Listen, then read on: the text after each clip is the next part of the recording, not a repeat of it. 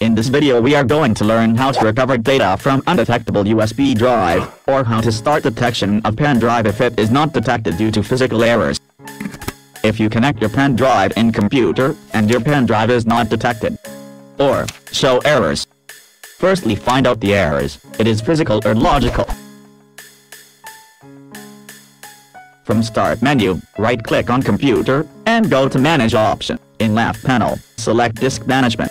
If your removable media is visible here, it is logical error, or, if no media is visible, it is physical error. If logical error occurred on your uh-huh. pen drive,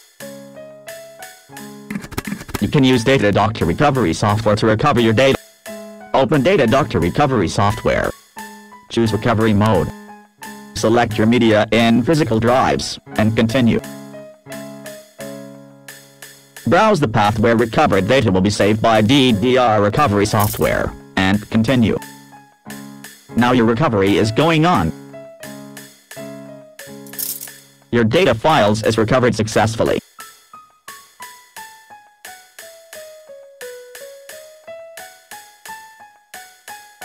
If physical error occurred on your pen drive, remove the outer casing of your pen drive.